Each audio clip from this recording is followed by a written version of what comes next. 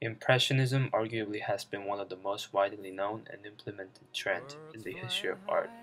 Started in the around 1860s in France, Impressionism engendered an unprecedented style of modern art, which focused mostly on light and color. Impressionist artists and painters tried to demonstrate uniquely subjective and spontaneous perspectives and reaction from change of light and color.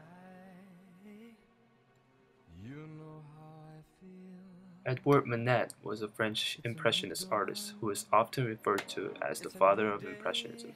One of his most famous works, Luncheon on the Grass, is not only an innovative in its controversial subject, but also in its style of depictions. Manet chose to ignore basic elements of what was thought to be an accurate description, law of perspective. Instead, he focused more on simplifying vague colors and details to portray flatness in a new genre of art.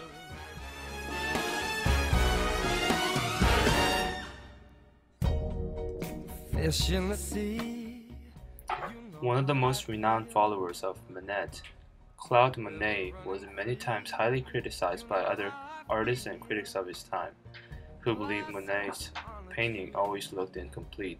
Because of his tendency to obsessively focus on light, Monet's painting appeared relatively vague and unique at the time.